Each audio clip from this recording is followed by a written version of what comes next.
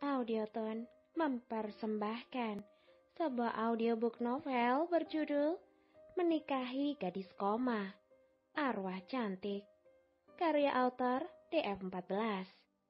Bersama saya, Pimoy, sebagai pengisi suara. Episode keempat, Dikhianati. Selamat mendengarkan. Karin nampak kaget saat melihat Revan yang datang. Revan? Ingin sekali dia memeluk Revan, namun tidak bisa. Karin membelalakan mata saat melihat ada Elsa yang berjalan di belakang Revan. Mengapa Kak Elsa datang bersama dengan Revan? Karin berpikir positif, mungkin mereka bertemu di parkiran mobil. Karin terus mendekati Revan. Revan, seharusnya kamu jangan datang ke sini. Bagaimana kalau papaku marah padamu? Sayang sekali, ucapannya tidak akan terdengar oleh Revan. Pak Tian kelihatan tidak senang dengan kehadiran Revan, anak rival bisnisnya. Mau apa kamu datang ke sini? Aku hanya ingin melihat Karin, Om. Mata Revan berkaca-kaca karena sangat mengkhawatirkan keadaan kekasihnya. Elsa memberitahu Revan, Pak. Elsa minta maaf. Elsa tidak ingin Revan dimarahi oleh papa tirinya itu. Kak Elsa, Karin sangat terharu dengan kebaikan Elsa yang selalu mengerti perasaannya. Cepat usir dia dari sini. Saat ini saya tidak ingin melihatnya. Pentak Pak Tian.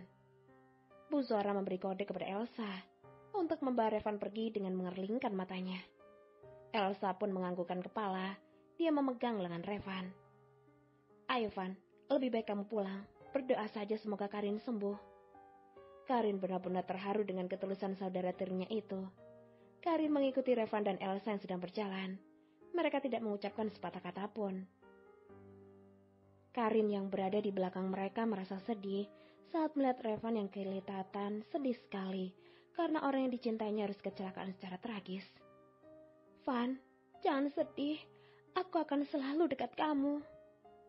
Sementara itu, Kak Tian harus menerima kabar yang menyedihkan karena harapan Karin untuk bertahan hidup itu tipis hingga akhirnya dia koma.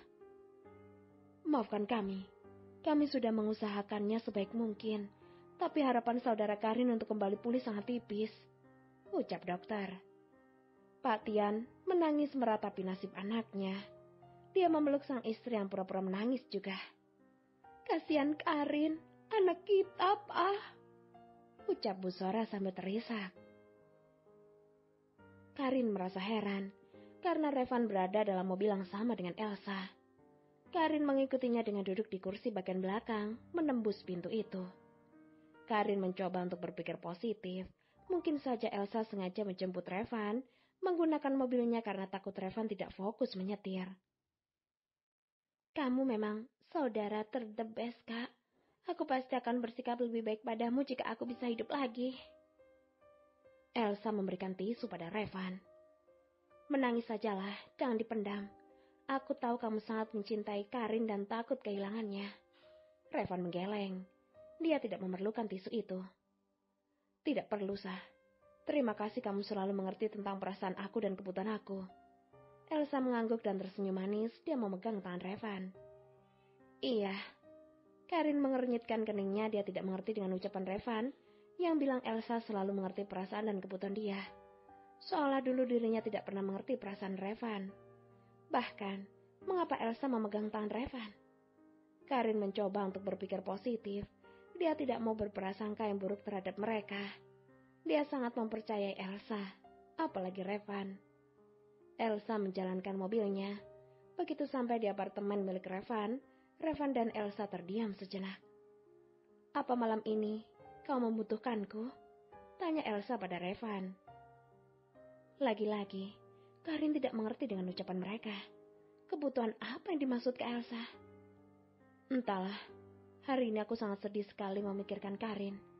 Revan terlihat tidak bersemangat. Itu artinya kau membutuhkan hiburan dariku. Sudah kukatakan, aku akan selalu ada untukmu dan mengerti apa pun mau kamu. Ke Elsa? Karin tidak mempercaya ucapan Elsa tersebut. Bagaimana bisa dia mengatakan itu pada kekasihnya? Bahkan calon suaminya. Revan, memaksakan diri untuk tersenyum. Ya sudah, ayo masuk ke apartemenku. Mereka mau apa? Ada hubungan apa di antara mereka? Karin tampak kebingungan dan rasanya sangat menyesakkan di dada. Kalau kamu mau dengar audiobook lebih banyak dan gratis, segera download AudioTune